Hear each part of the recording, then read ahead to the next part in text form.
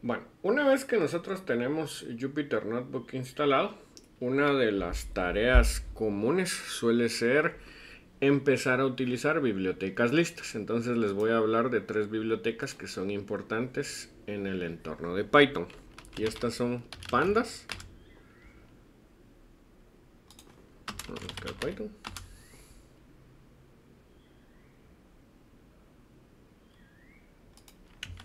NumPy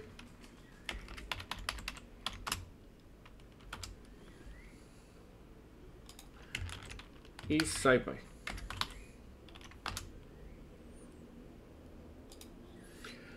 Ok, nosotros tenemos que partir del hecho que Python es un lenguaje de programación multiparadigma y una de sus características, digámoslo así, muy importantes es que nosotros podemos aprender a utilizarlo de forma fácil.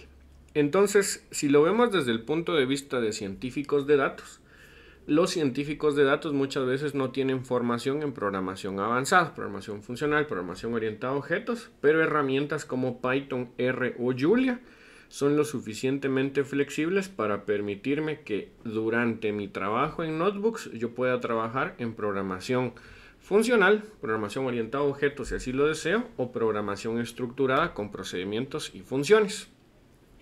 Por este motivo, y digámoslo así, heredando todo aquello que anteriormente se hacía con MATLAB o se hacía con matemática, se fueron creando varias herramientas alrededor de Python para formar un ecosistema de análisis de datos. Y el primer eslabón suelen ser las bibliotecas de procesamiento científico. Entonces, en este procesamiento científico, uno de los aspectos más importantes son las bibliotecas de terceros. Las bibliotecas de terceros en Python como NumPy suelen ser bibliotecas que traen un montón de funcionalidad preconfigurada para hacer computación cuántica, computación estadística, procesamiento de señales y cualquier otro tipo de uso. No es exclusivo de Python, pero el estado actual de bibliotecas en Python donde tenemos Python al alto nivel que invoca grappers o que, digámoslo así, empaca código en C++ o en Java o en Node, suele ser un ecosistema bastante activo. Entonces, las bibliotecas más populares para análisis de datos o por lo menos para manipulación rápida numérica suelen ser Pandas, NumPy y ustedes pueden encontrar una distribución como SciPy, la cual suele incluir algunos paquetes core que permiten la interacción entre NumPy, SciPy como tal, pandas para manipulación y estructuras de datos y para procesamiento de arrays de tamaño n. Y podemos proceder con su instalación. Al igual que como hicimos anteriormente, nosotros podemos preparar nuestro entorno utilizando pip. Ahora bien, ¿qué pasaría si no tenemos el entorno preparado? Entonces voy a aprovechar para mostrarles un entorno sin las bibliotecas previamente eh, configuradas. Entonces utilizamos Jupyter Notebook. Arranca entonces el notebook. Y vamos a hacer una prueba rápida. Entonces yo ya tenía el Untitled folder. Vamos a crear uno nuevo con Python 3. Ok, entonces, si yo, por ejemplo, intento importar una biblioteca como NumPy, utilizando la sintaxis de Python, y establezco un alias, el primer error que yo obtengo en este momento es que no existe el módulo NumPy. Y muchos tutoriales que ustedes van a encontrar en internet se basan en código de bibliotecas. Bibliotecas como TensorFlow bibliotecas de análisis de datos como la biblioteca de Facebook, bibliotecas como Keras, suelen depender de otras bibliotecas y lo que nos va a informar el notebook o eventualmente un IDE si lo trabajamos en un IDE es que no tenemos las bibliotecas disponibles. Entonces, yo suelo recomendar que en la mayoría de análisis de datos el mínimo que deberíamos de tener es la colección de SciPy y lo podemos hacer mediante pip. Entonces este va a tener varias bibliotecas importantes, pero especialmente NumPy, Matplotlib para hacer plots de datos y también vamos a tener pandas. Entonces voy a pegar la instalación. Eh, la verdad no soy muy hábil en Windows. Entonces, veamos si esto funciona. Ok. Y le digo que quiero instalar NumPy, SciPy, Matplotlib, IPython, Jupyter, Pandas, SymPy y Nose. Entonces, esto va a descargar las dependencias. Pauso y regreso cuando haya finalizado. Ok, al finalizar la instalación ya tendríamos el ecosistema o la colección de SciPy que entre otras cosas nuevamente incluye y tiene implementaciones compatibles con NumPy y como pandas y con pandas. ¿Cuál es la diferencia entre una y otra? NumPy es especialmente utilizado para procesamiento estadístico de arreglos de n dimensiones, mientras que pandas me sirve más para conformar estructuras de datos que yo puedo utilizar como entrada hacia otras bibliotecas como Matplotlib y algunas notaciones matemáticas. Ahora, vamos a probar que pandas y NumPy estén bien instalados dentro de nuestro entorno. Regresando entonces a mi notebook, una vez yo tengo las dependencias, yo ya debería de ser capaz de ejecutar con NumPy. Entonces vamos a recargar y vamos a hacer la prueba. De momento no está encontrando NumPy. Vamos a depurar fuera de cámara. Ok, eh, si en algún momento les llega a pasar que no reconoce las bibliotecas, yo lo que hice fue que volví a lanzar el notebook.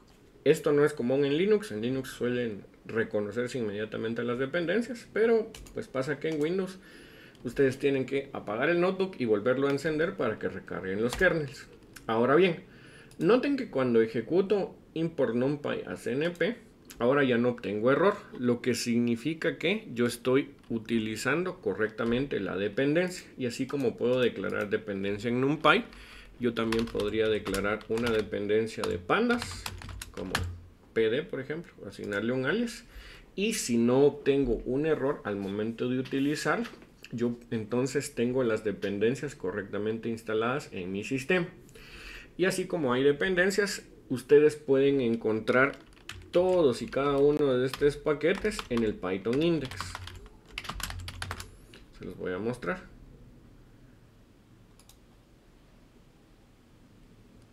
Entonces, Python Package Index.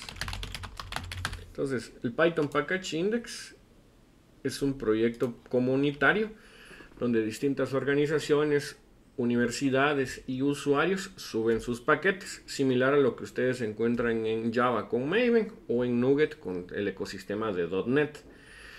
pip por defecto apunta a los repositorios que se encuentran en Python Package Index. Entonces, si necesitan un paquete y lo desean instalar con pip, primero debe de estar en el Python Package Index o en un repositorio compatible. En este caso nosotros acabamos de instalar NumPy y Pandas. Entonces vamos a hacer una prueba rápida de que todo esté funcionando correctamente. Entonces yo les mencioné que dentro del notebook ustedes pueden hacer distintas pruebas y cada uno de estos bloques corresponde a cells o el concepto sería cells que pueden ser ejecutados individualmente o en conjunto. Por ejemplo, yo podría colocar en un set la instrucción hola alumnos de URL y en otro cell colocar bienvenidos al mundo de Python.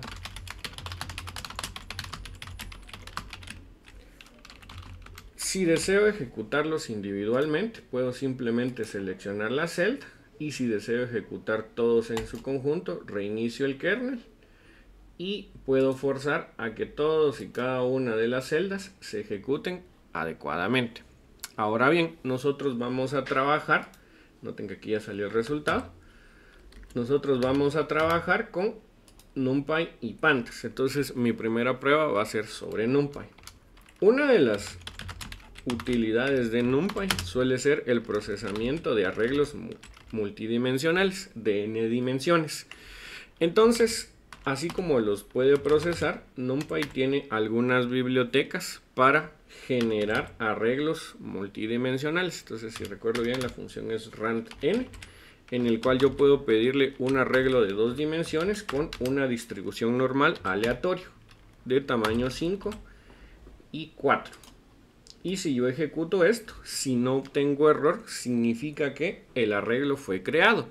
Pero Python funciona como expresiones. Entonces, si mi última expresión es una variable, automáticamente yo obtengo del REPL el arreglo de tamaño X, Y, en el cual tengo datos distribuidos de forma normal dentro de la organización de números aleatorios. Ustedes pueden establecer una semilla fija para que siempre obtengan el mismo resultado, pero si por ejemplo yo lo vuelvo a ejecutar, automáticamente genera una nueva serie de números.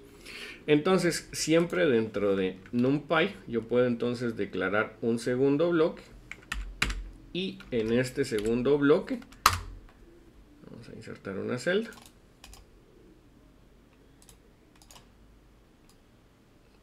below.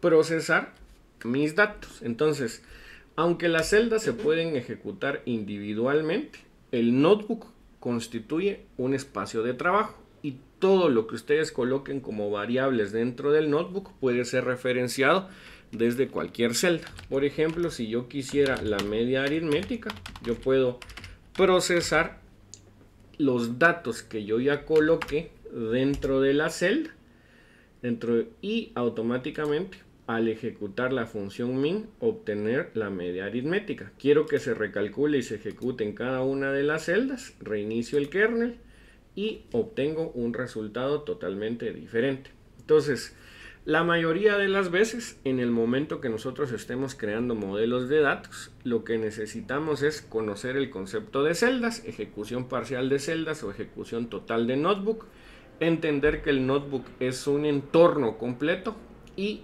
a través de bibliotecas yo puedo facilitarme el trabajo de procesamiento de datos.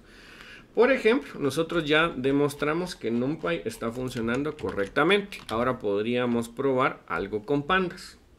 Pandas como tal tiene su propio formato de procesamiento de datos, conocidos como data frames. Entonces yo podría crear un data frame o data frame en el cual yo digo pandas, por favor, tomar un data frame a partir de los datos que originalmente yo creé con NumPy. Entonces puedo tomar la salida de una biblioteca y concentrarla en otra biblioteca. Y puedo ahora sí colocar, por ejemplo, eh, etiquetas a mis datos. Entonces, solo tengo problemas con el teclado. A ver si lo puedo pasar a español. Un segundo, solo lo voy a configurar si no, no encuentro los símbolos. Ok, eh, solo hice una configuración rápida en el teclado porque no es este mi sistema operativo principal. Y estoy ahora unos minutos lo que los carga. Pausa. Bueno, ahora sí, una vez que configuré mi teclado, yo ya puedo colocar entonces etiquetas a las columnas que estoy conformando en el data frame de pandas a partir de los datos que generé con NumPy. Entonces puedo hacer hasta cierto punto compatibles las bibliotecas. Por ejemplo, la primera dimensión son las filas, las cuales yo ya sé que tienen un tamaño 5. Entonces puedo colocar, por ejemplo, índice A, y E. Y en el caso de las columnas, entonces yo puedo decir columns igual a C1, C2, C3 y C4. Y si esta instrucción está bien, entonces yo le pido que por favor imprima la variable DataFrame. Y noten que a partir de los datos que generé en NumPy, yo los proceso con pandas, inicializo el DataFrame con pandas para posteriormente mostrarlo dentro del notebook. Entonces, ¿Qué pasa si una instrucción no estuviera bien?